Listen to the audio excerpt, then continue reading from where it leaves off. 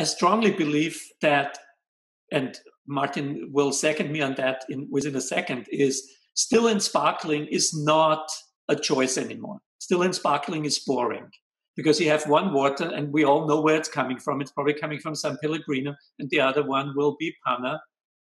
And that's my choice of a water in a restaurant. So I'm spending $150 on the tasting menu. I don't drink wine.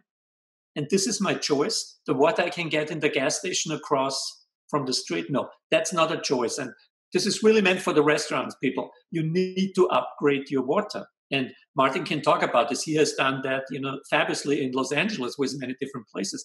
But still around the country, there are people that think they can get away by selling you a 99 cents water for $10 in the restaurant.